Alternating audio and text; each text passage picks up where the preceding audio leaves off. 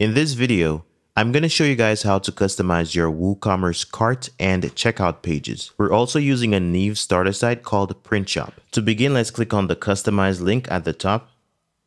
And from this menu, let's click on WooCommerce. Okay, so let's begin with the checkout page.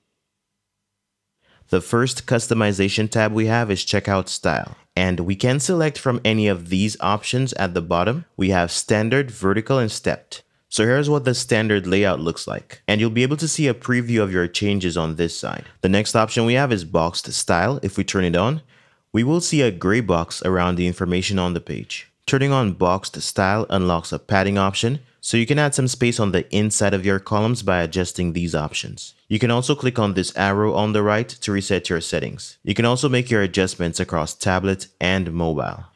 Now, let's switch back to desktop.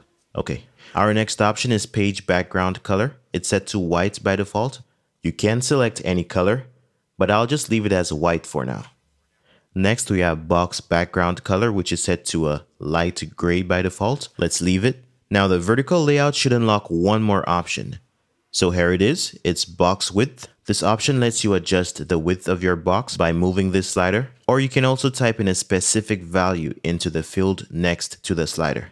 Now let's take a look at the stepped layout. Enabling this layout adds three more options that correspond to the step labels. They're right here at the top of the page. If you ever need to change your label, you can simply type in your text into this field so for example, I'm changing this from proceed to review to proceed to auto review. So this is how our stepped layout looks. Let's go ahead and switch back to the default one, which is standard. Okay, so let's move down to the general tab. It's right here. The first option under general is company name field. Right now it's set to optional, but let's access this drop down menu to select hidden. Okay, Right now, address line 2 is also visible. We want to hide this field as well, so let's click on the drop-down menu and select hidden. The next option we have here is phone field, which is required by default. We can go ahead and view it on the page as well. It's right here, let's leave it on. And the next option lets us highlight required fields with an asterisk. Here's an example on the phone field. So we are going to leave this on. Let's move to the next option, this option lets us enable a fixed order box. This is the order box right here and as we scroll up and down the page, it moves as well. So if we enable this option, it will be fixed to one position when scrolling, sort of like a sticky header. Let's move down to the next option. This one will let us use labels as placeholders.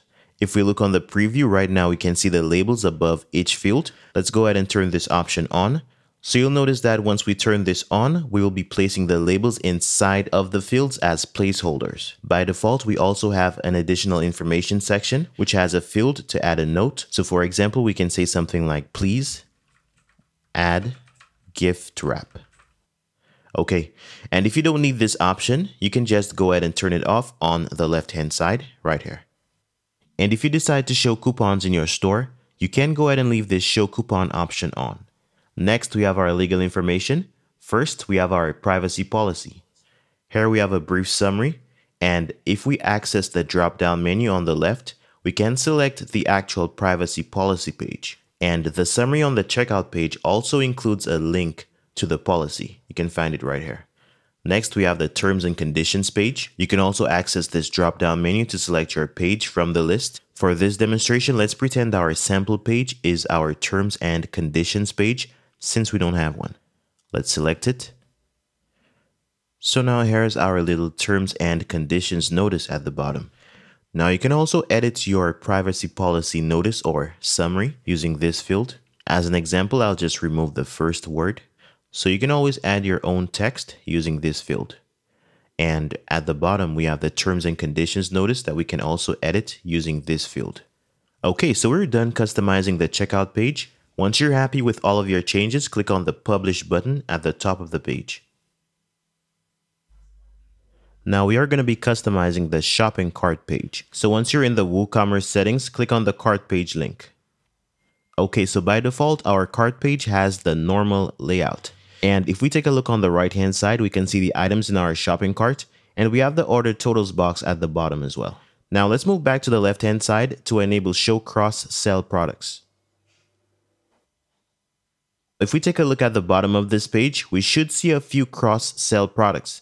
These products are linked to one or more items in our shopping cart.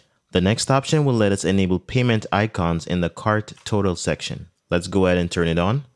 Okay, so our payment icons are now being displayed. To edit your icons, you can go to the customizer and click on this link or this edit button. Our settings have opened up on the left hand side. If you want to enable or disable a specific payment icon, you can click on the eye icon next to its option and you should see your changes in the live preview. And you can also change the order of your icons using this list by clicking and dragging them to your desired position. You can also see this change in the live preview. And we also have a payment icons widget in the footer, and these settings are also affecting it. So that is something you can keep in mind. Let's go back to our cart page options, and this time we are going to choose the side-by-side -side layout.